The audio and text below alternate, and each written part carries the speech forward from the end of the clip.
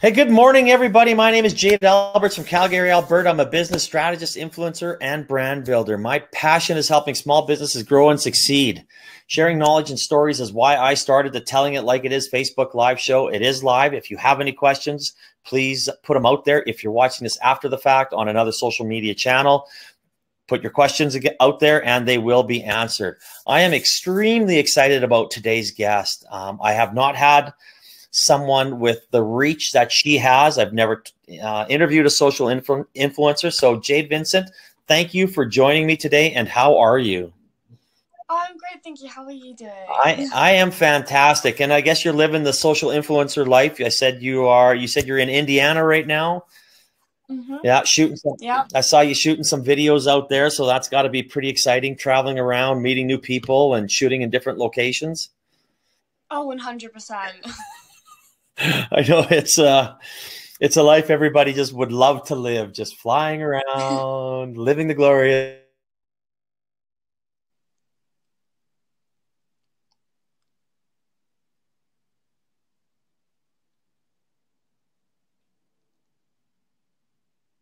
Is putting out nice little. I always bring up is uh, how how I met my guests, and you and I connected um, uh, on LinkedIn, and then we met for coffee. And it just happened that you uh, you moved to Calgary a little while ago, and it was easy for us to to hook up. and And your mom and I met for, and yourself met for coffee. So that was pretty neat. So how you enjoying life in Calgary?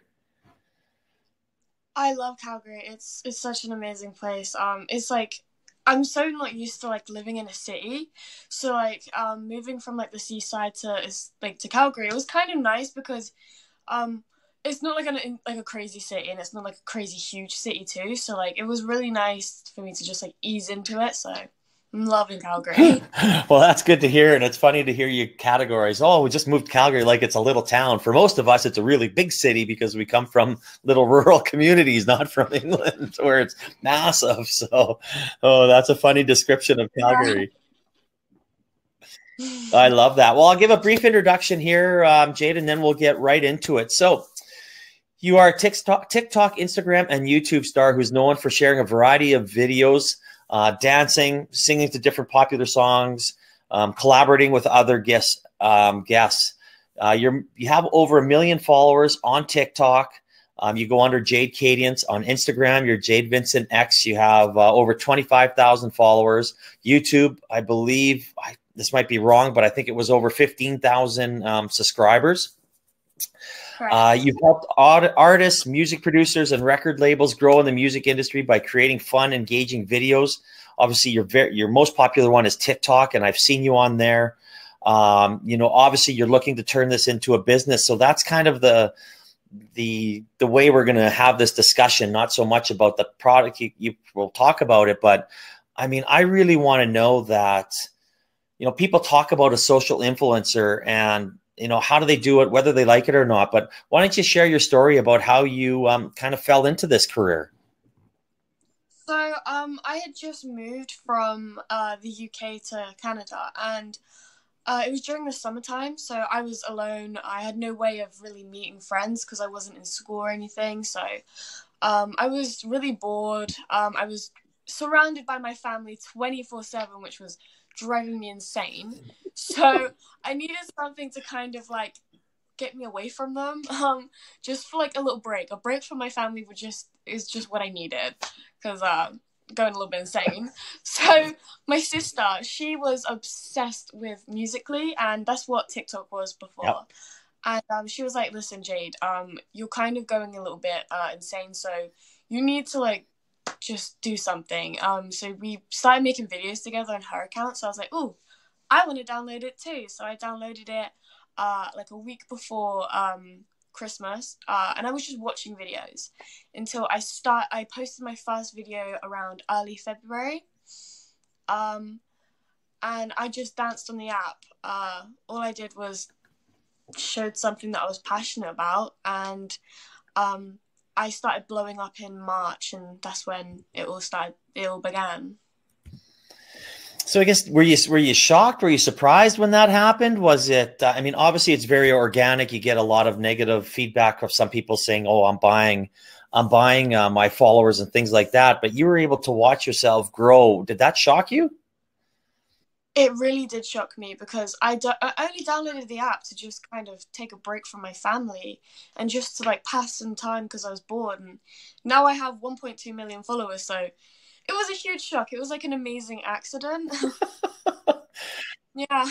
Well, you know that I mean to be quite honest, an amazing accident is is a good way to describe it, and and a lot of times that's how you know even i'm not saying this is a isn't a regular business but that's how a lot of businesses start. They have an idea they float it out there and all of a sudden oh man i i can make this become a reality. So i know you were obviously with tiktok you've been growing and and they flew you down there to um to their offices to kind of become an influencer. Why don't you tell us a little bit about that? Oh sorry you caught a little bit then Oh, sorry about that. I said you flew down to TikTok and and they were uh, talking to you about becoming one of the influencers on their platform. Why don't you uh, tell us a little bit about that? See TikTok. Um, I I actually they didn't fly me down when I went to VidCon. Oh, um, VidCon. We sorry. TikTok, we went to the TikTok headquarters. Um, and TikTok's a really sly thing. Like they said that it wasn't the TikTok headquarters, but then we went onto like the website and I was like, look at our TikTok headquarters, and I was like. See, TikTok's a really hard thing, like a hard thing to get into. Mm-hmm. Um, it's really hard to like really like get in with them and to connect with them. Um, I have tried emailing them a few times, but um, they never really get back to you. It's really difficult, really, really difficult. well, that's good that you're still able to make a connection with them at least. I know there's yeah. there is a really uh, a negative perception sometimes about social influencers. How have you uh, how have you been able to overcome this? See, I I usually ignore my uh, negative comments or anything that's negative that passes me, but most of the time I take that and I use it as motivation to like be better. Um, and see, I don't really um get offended that easily. Mm-hmm. Um, I kind of just laugh it off. Like if I see something that's, uh, if I see a comment that's really negative, uh, I'll joke with them. I'll be like, "Yeah, I know, I suck at this dance. Like, I'm awful." Uh, because like if people see that you don't care, they'll just be like, "Oh, well, you you can't get to us, so why bother?" Like, um, because it's just negative negativity just doesn't phase me because I filled myself with so much like self love and um because of all these supporters that are like behind my back, they're always boosting me up. I feel so good about myself to the point that those that negativity doesn't bother me anymore. So I just use that like those negative comments as motivation to push myself to be better. Oh, and, and I mean that's such a good such a good point. I mean, there's so much online bullying and so much negativity towards that. I've watched I've watched a lot of your videos, um, and I mean even when you when we had our coffee meeting here.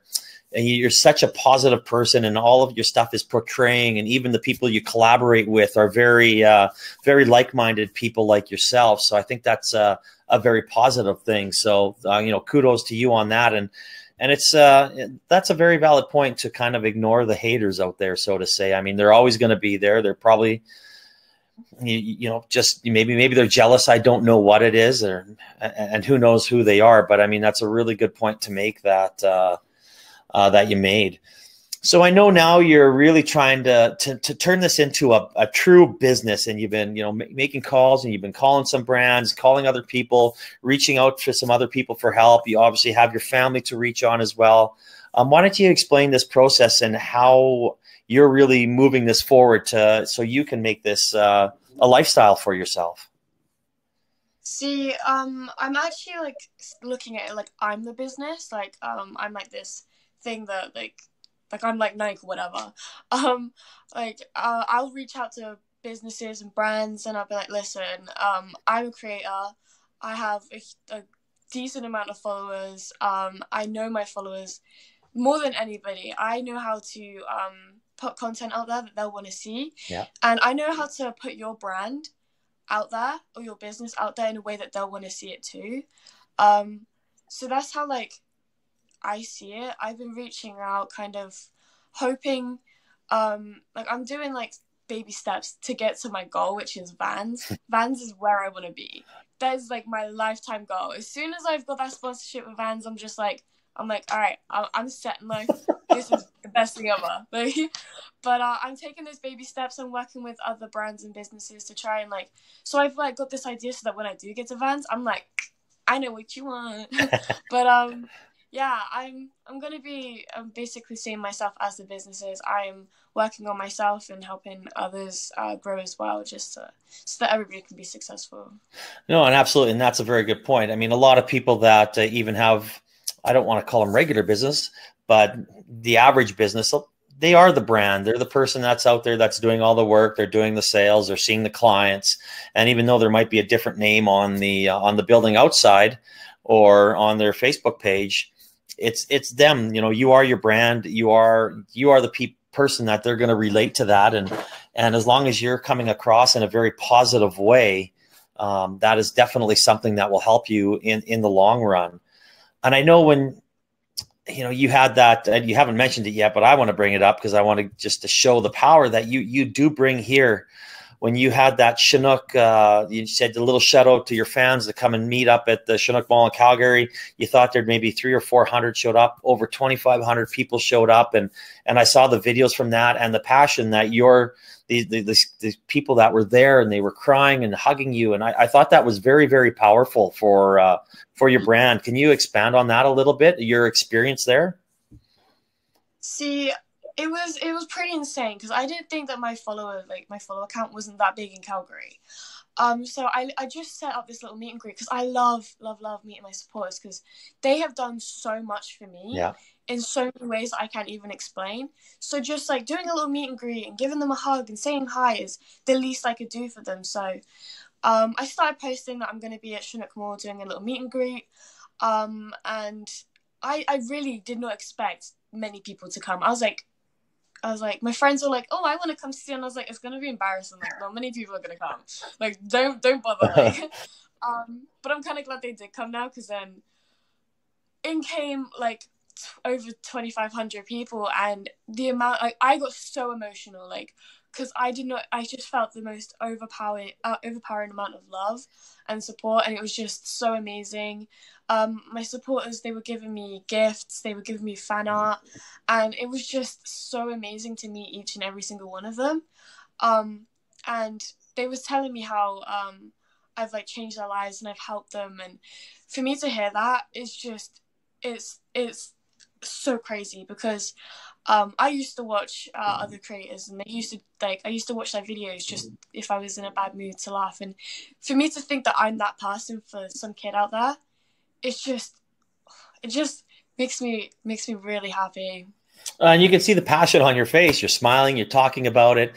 Uh, I mean, actually, I, I, was watching that video when when you took when you shared it with me, and I was like, "Wow, that is you know that actually made my head turn a little bit because sometimes I'm a little bit down on on social influencers and and how it can be. But uh, you know, as I've been following you, and and for anybody else that wants to follow her, uh, you can just go to the comment section, and all her handles are in there on Instagram, YouTube, and uh, and TikTok. So I, it, it is very positive. Now taking that and turning that into into having someone work with you to obviously grow their brand. You talked about it. You think you know how they should grow their brand, or at least help them grow their their brand. So why should they consider hiring you as an influencer? Um, they should definitely consider um hiring me as an influencer because I am with the demographic that they want to reach out to. Um, it's us kids. I guess like my generation that uh, like businesses and brands want to be at um because we are the future um and we are always going to our parents like oh i want to buy this. Can i have this for my birthday? Can i have this for christmas? Like i really love this. Can you please buy this for me? So the parents like the older generation they're where the money's at but it's their kids that you want to reach out to because they're going and taking their parents money uh, to go get these things. And because I have such a huge following with uh, my demographic, like my uh, age group, um, that's why they want to reach out to me because I know how to get um, a point across. I know how to get the word out uh, because kids will listen to me because I know how to get it out there that they would want to listen. Um, because I, I do have a pretty big impact on uh, kids these days. Uh, influencers are where uh, businesses want to be at because people aren't looking at celebrities like the movie actors or like uh, singers anymore because they don't see those as the real celebrities anymore. They're seeing these influencers as them because um, that's where they're looking more, like more to social media. Nobody really watches TV anymore, so they're going to be watching TikTok like hours, hours on end, and seeing these influencers as the real celebrities. That's why actual celebrities are coming onto TikTok now because nobody knows who they are anymore. Like, um, it's true. Oh no, no, I, I, I agree. it, it, it's it's definitely there. There's some definitely some truth to that. There, there's no doubt. There's no doubt about it. And and ever since, I mean, Musical.ly was popular, but ever since TikTok purchased it, it, it has gone to uh, it has gone to the next level. That the, the app. I mean, I don't use it a whole lot. I know, uh, you know, our girls use it, and when I told them that I met you, they were like, "Oh my goodness, you met Jayde Vincent? Like, are you serious? Like, are you? I, oh my goodness!" They were like, they couldn't believe it, right? And I was like, "Oh." so it was one day. I know, but that again, I, and I agree with your analogy there, going to the power where people aren't. I mean, you know, watching a whole lot of TV. It's always YouTube, it's Netflix. They're they're they're using, you know, this is the power of of of how we are how we're moving forward, and even businesses setting up websites. I've changed my entire philosophy in the last seven or eight years working with clients to how it how it works on a phone and that's and how it is and people aren't spending time even on even on websites on their laptop so that that whole demographic is changing so that's a very valid point um, so I guess kind of moving forward, you know, you know you're obviously I still you're seeing putting out content. Uh, you've really stepped up and moved into LinkedIn. How has that uh, affected uh, some of your following? Um, with LinkedIn, uh, it's it really helped me like really helped me because um i'm also um i'm moving the direction that i want to move. Mm-hmm. um people is like my like people that see me on the for you page or whatever collaborating with other people they're seeing how uh, passionate i am about this. Um linkedin has done so so much for me. Like it's really helped me move in like the direction that i am i've always wanted to go. Um i've always wanted to do this. Like this is like I'm basically living my dream right now, and I couldn't be more happy about it. Um, like I've always, always, always wanted to be an influencer, but to be an influencer with brands and stuff is just so much better. It's so much more fun, and it's definitely the way to go. yeah, I mean, you get you're definitely from from what I see on your LinkedIn, you, you're reaching, you're starting to reach those business people a heck of a lot more, who will be the ones that will you know consider hiring you or be able to recommend you. And and when you put a post out there i was like wow man that and you just got like 190 likes on that post. And you look at the people that are in there um, it's obviously an entire different entire different a different demographic than than the tiktok crowd. So that's uh kudos to you on putting yourself out there on linkedin too. That, that that's impressive Thank you. so I guess now, uh, now you've talked it. You know, you've been doing this for you know about a year or so. You're obviously you're expanding. You're growing your network. You've had some really good success stories. So what what what's next for you? Now I'm just gonna push myself as far as I can go. Um, I am going to basically I just want to inspire people. Like, um, I I've mentioned Gary Vee's name like a hundred times. Like in my freaking life. Um, I love Gary Vee. Um, and I want to be where he's at. He's like one of my inspirations. Like he's so inspiring. Like he just he posts videos and he gets his point across in a way that um us kids we love it. Like we understand that. Like he's so smart. Like he drops the f bombs. He speaks his mind. He just says it straight and he doesn't care if he hurts your feelings. He says it how you need to hear it, and that's where I want to be. But like a little bit soft. That I don't really want to be that mean, but um, yeah, I, I want to be where he's at, and I'm I'm just really gonna push myself to inspire people, uh, to to really help people uh, grow and be successful, um, because I just I love to give back. I've had so much, I've like received so much love and support that I now want to like take that energy and just throw it out to everybody else.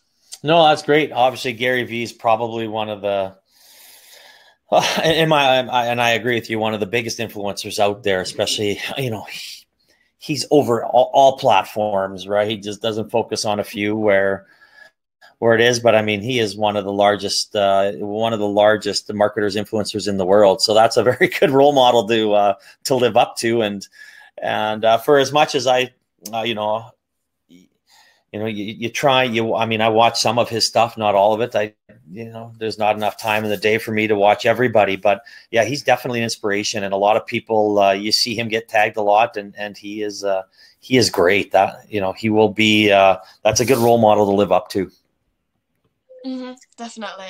So I do have uh, one more question, and it's I kind of ask everybody the the same question, and and I know you're you're you're just in that really startup phase of of of growing it as a business, but and and, and sometimes I don't get a lot of people in that that phase, and they don't realize how hard it is to to start up a new business. So if you had one piece of advice for a small business, a startup entrepreneur or someone even thinking about uh, doing what you're doing, maybe there's two answers to this question. What would it be?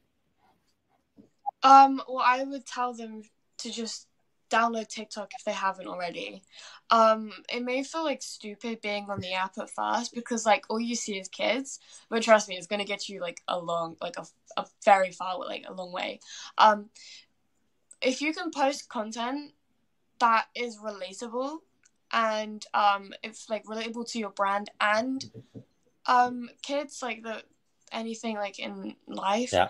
That's gonna get you so far. Um, kids love to see like relatable content because we're just like, oh yeah, I do that. Like this is what I do. I'm gonna like that. Uh, I'm gonna follow this person. So yeah, definitely like download the app. Um, kind of like take a few days, see what's going on. Like spend like maybe like 10, 15 minutes a day just going through the for you page, learning what people are doing, follow the trends, you know, um, because if you can post content out there that like is to do with your business and brand, and kind of like promote it in like a really organic way, won't there's a brand and business there, but not see that it's like a really cheesy commercial ad or like a really like pushy like hey like this is my brand this is my business come come people are kids yeah. are just kind of like. Mm.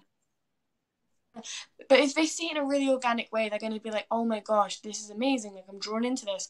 I've I've seen this thing somewhere, like in this one video. Like, uh, I need to get this." Like if you like post a video, like say you're like selling a drink, put it in the background or something in all of your videos. People will like see that in the store, but like, "Oh, I've seen it on TikTok. Like I want to buy that. I want to try it." Like really smart way to like really push it out there in the most Oh, absolutely. I mean, it doesn't matter who you are. I mean, the tagline mm-hmm. I use with a lot of my people, and when I have, you know, my honest meetings or tell, you know, telling it like it is, it's you know, be yourself, be authentic, and be honest, and that's, yeah, exactly. you know, and as you said, even people that you work with, and and people that aren't, you know, comfortable in front of a camera, it's like you know what? Grab your phone shoot a 10 minute video and or, or, a 30 second video not 10 minute 45 second video and we will use that as content because again you are your brand and you have to put yourself out there and people relate to that. And if you want to be an expert if you want to be an influencer if you want people to trust you and buy from you they have to have that feeling that they know who you are. So that's a very good point. Thank you for sharing that you're welcome. Well, I really, you know, Jay, I really appreciate uh, you coming on today and, and, you know, sharing your story, telling your story. And, and I know I, I wish you all the best. And I, I can't wait for our next coffee. And I hopefully maybe in a year we'll do a follow up and you'll be having this big story and you'll be, you'll be wearing your vans and there'll be vans all in the background. And, you'll come over and say, "Hey, Jade, I got a pair of Vans for you," and I'd be like, "Yeah, oh, can't wait for that day." we all are. So again, thank you so much for coming on, sharing your story, and uh, enjoy the rest of your time in Indiana. Oh, thank you so much for having me. All right. Have a great day, everybody, and we will see you next Wednesday. Have a good one. Bye bye.